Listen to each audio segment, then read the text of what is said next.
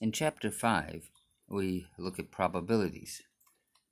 We'll be looking at two ways of calculating probabilities. One way will be mathematically predictable outcomes. This video will look at mathematically predictable outcomes. Another video will look at relative frequency. The relative frequency is the probability.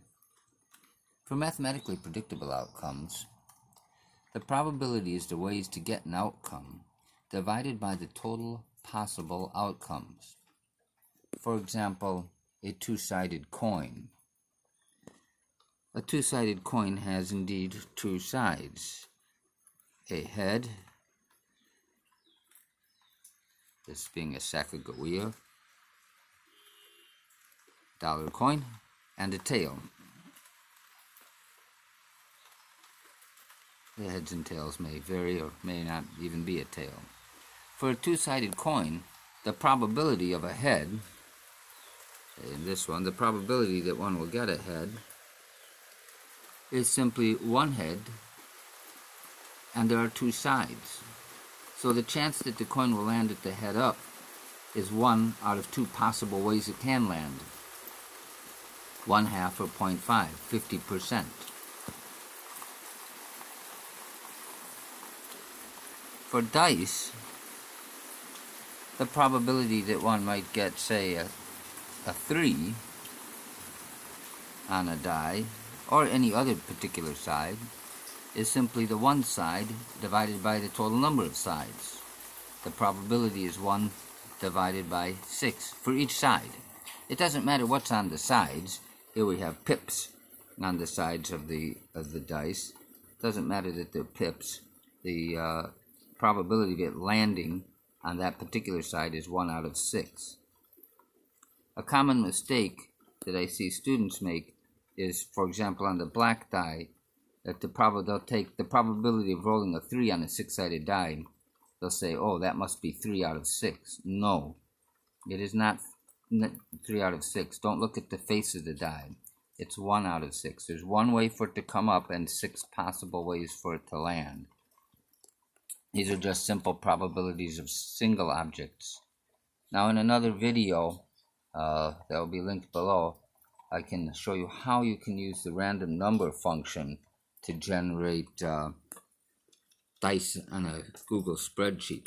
The random number function will generate pseudo-random numbers from 0 to 1. Probabilities run from 0 to 1. They uh, 1 would be a sure thing and 0 would be something that really cannot happen. And all of the probabilities add to 1.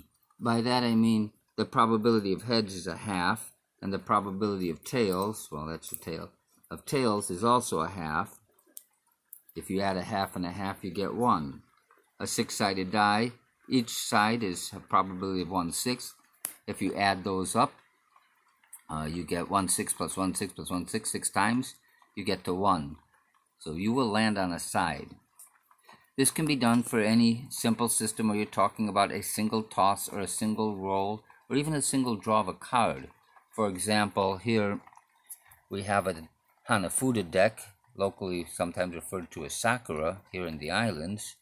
Um, and there are 48 cards in these decks the probability of randomly drawing any single card from an intact stack would be uh, 1 out of 48, about a 2% chance of drawing any one of the Hanafuda cards involved uh, from an intact stack. Here I've laid out some of the cards on the table uh, in the field and drawing deck as might be seen in, a, in play. But the probability that one would pull any particular card from an intact stack, if the stack was intact, would be 1 out of 48. One way to get a boar, in this case, and 48 possibilities. So 1 out of 48, about 2%. So this could be done for any of the, uh, any simple throw of a single die, toss of a single coin, or pull of a single card. Things do get more complicated when you have multiple objects. We're not going to tackle that. The toss of any one single coin or die is not predictable. And so they form the basis of what random numbers look like. And as we look at relative frequency, we'll see that we do not always, um, you cannot predict one toss, but you can predict it over the long haul. The heads and the tails will be somewhere close to each other. And that will form the basis of sorting out whether a difference is random or whether a difference is real. You expect that you might get six heads and four tails, or four heads and six tails. That wouldn't seem unusual on a toss on ten tosses of a single coin. But you wouldn't expect that you toss it ten times and get ten heads. That will provide the basis for sorting out when differences are simply randomly expected differences or differences that are real. Uh, and so we'll look at that later.